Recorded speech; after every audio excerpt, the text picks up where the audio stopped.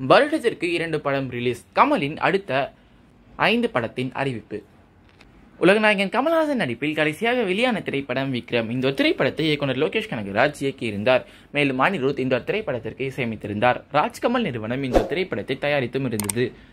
இந்த ஒரு திரைப்படம் வெளியாகி மாபெரும் வெற்றி பெற்று கிட்டத்தட்ட நானூறு கோடி அளவிற்கு வசூல் செய்து கமல்ஹாசனுக்கு ஒரு சிறந்த கம்பேக் திரைப்படமாகவும் தமிழ் சினிமாவிற்கு ஒரு இண்டஸ்ட்ரி திரைப்படமாகவும் விக்ரம் திரைப்படம் அமைந்தது. அதனைத் தொடர்ந்து இந்த திரைப்படத்திற்கு பிறகுதான் கமல்ஹாசன் சினிமாவில் முழுவீச்சாக செயல்பட ஆரம்பித்தார். அதனைத் தொடர்ந்து முடங்கி போன இந்தியன் டூ திரைப்படத்தின் படப்பிடிப்பும் தொடங்கியது.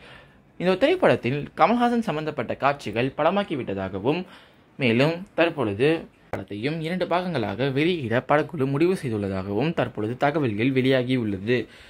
இந்தியன் டூ திரைப்படத்தை அடுத்த ஏப்ரல் மாதத்தில் வெளியிட படக்குழு திட்டமாகவும் தகவல்கள் வெளியாகியுள்ளது. மேலும் அதனைத் தொடர்ந்து ப்ராஜெக்ட் கே திரைப்படத்தில் கமல்ஹாசன் வில்லனாக நடிக்க கமிட் ஆகியுள்ளார் அந்த ஒரு திரைப்படத்தை முடித்த பிறகு ஹெச் வினோத் இயக்கும் K H two thirty three திரைப்படத்தில் கமல்ஹாசன் நடிக்க உள்ளார் இந்த ஒரு திரைப்படத்திற்கு கமல்ஹாசன் தான் கதையும் எழுதியுள்ளார்.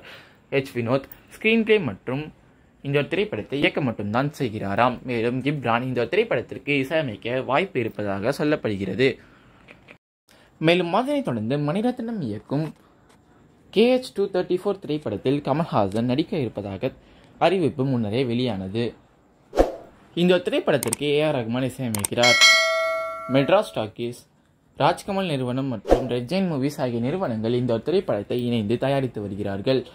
மேலும் இந்த ஒரு திரைப்படத்திற்கு பிறகு பல திரைப்படங்களில் கமல்ஹாசன் முழுவீச்சாக நடிக்க உள்ளதாக தகவல்கள் வெளியாகியுள்ளது. அதாவது வெற்றிமாறனுடன் ஒரு படம் லோகேஷ் கனகராஜுடன் ஒரு படம் மற்றும் படம் இயக்குனர் பிரதீப் ரங்கநாதனுடன் ஒரு படம் என கமல்ஹாசன் முழுவீச்சாக நடிக்கப் போகிறார் என தகவல்கள் வெளியாகி உள்ளது என்பது குறிப்பிடத்தக்கது.